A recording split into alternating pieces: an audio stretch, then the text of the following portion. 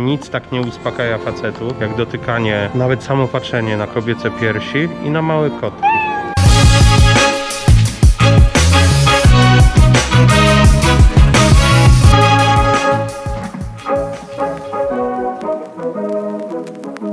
Dzień dobry wycieczko, kolejny dzień z nami w Italii gorącej, najpierw wytrę tutaj. Dzisiaj jesteśmy w Weronie, jest z nami przewodniczka Magda. Magda jest na miejscu we Włoszech od 20 lat? Od 20 lat. Nawet sobie zrobiła dwójkę dzieci z Włochem. Dziewczyny, jest szansa dla nas. Dzisiaj będziemy chodzić po Weronie, jest jakieś 500 stopni w cieniu, bardzo, bardzo lubimy taką pogodę, już czuję jak będzie przyjemnie. Kurczę, cały czas mam brudny ten o, Grzesio nawet tak się poczuł odświętnie tutaj. Przyjechał do Capuletti i Monteki, że założył białą koszulę z kołnierzykiem. Oh my god. Widziałeś kiedyś coś takiego?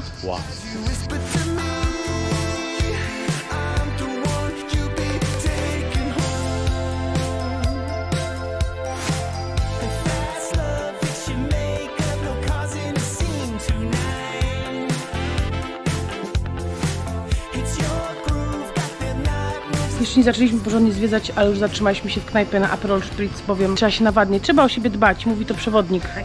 Także, a my słuchamy się ludzi, którzy są tu częściej, dłużej. It feels like it's real, but I can't be sure. Now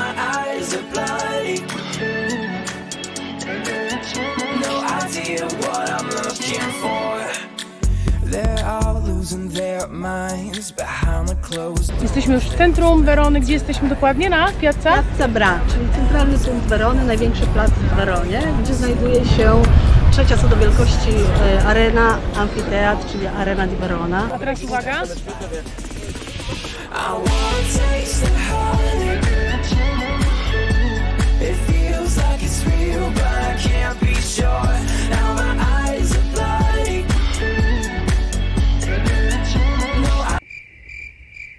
Teraz wchodzimy w uliczkę dla bogatych. Sobie chociaż powąchamy, jak wygląda majątek.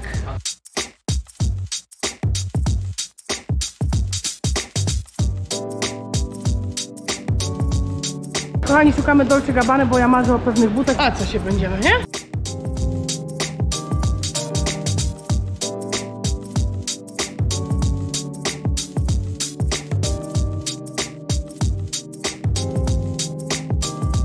Wchodzę pierwszy raz do Dolce Gabbana, dotknąć butów, którym się marzą.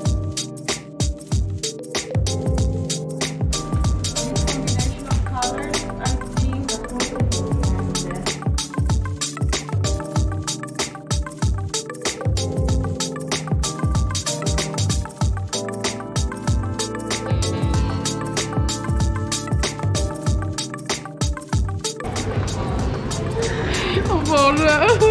No załóż je! Nie!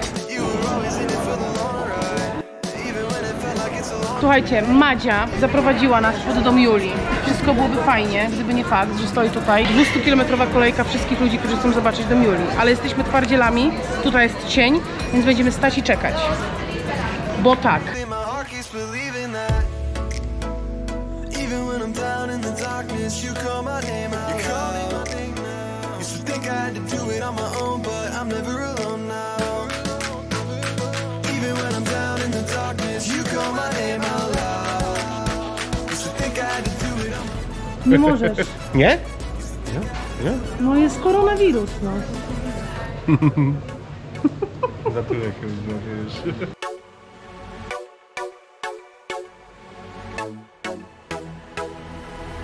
Jesteśmy w Sirmione i teraz będziemy pływać motorówką. Jest piekielnie gorąco i nie mamy kostiumów kąpielowych. Pamiętacie tę historię z Zakopanego? Jak było śniegu po kipę? Przypominam, że Grzesiek jest tym przypadkiem, który kiedyś do Zakopca ciężką zimą nie zabrał dzieciom kurtek, bo myślał, że ja to zrobiłam. I dzieci nie miały kurtek? Dobrze. Już się odobraziłaś? Ale przyznaj się, że przyznaj się po prostu. Przyznaję, że zapomniałem ci e, zabrać kostiumu kąpielowego. A teraz ty przyznaj się, że zapomniałaś mojego kostiumu. Jak Ale już nie się masz- nawzajem A od... zrobiłeś śniadanie? Znaczy, Jak się nawzajem... A odkurzałaś? Synuś, wiesz co ty będziesz teraz robił? Co? Będziesz pływał motorówką. Boję się. Motorówki? Ale szybko będzie. No nie no, tak żebyśmy się nie bali chyba, co? Patrz na tą. Na którą? No. Głowa smoka. Faktycznie ma głowę smoka, patrz, ja nie zauważyłam. Ty to masz oko, powiem ci. Oko sokoła. Chciała tam tam z Daszkiem jeździć. No myślę, że nie będziemy mieli nic wyboru, tylko to co nam pan powie, to tym będziemy e, jechać, wiesz? O nie. Kaczuszka! Patrz, kaczuszka. Ty to byś wszystkie zwierzątka świata przytulał, co?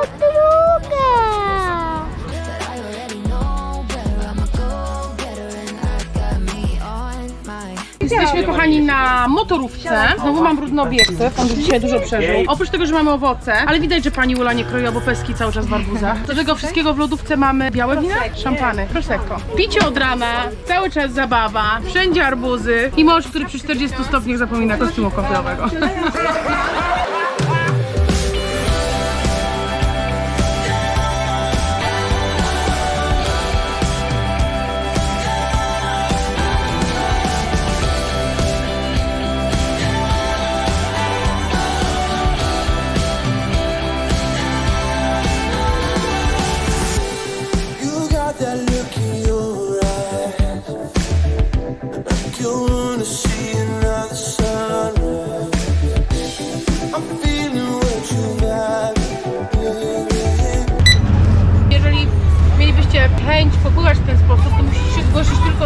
składu. Ceny są szyte na miarę i taką motorówką jak ta, z takim wypasem, nie popłynęlibyście sami tak po prostu. Jak przyjedziecie kiedykolwiek na garę, to musicie pierwsze to zrobić, zadzwonić do Wojtka albo do Magdy i powiedzieć halo, chcę pływać motorówką.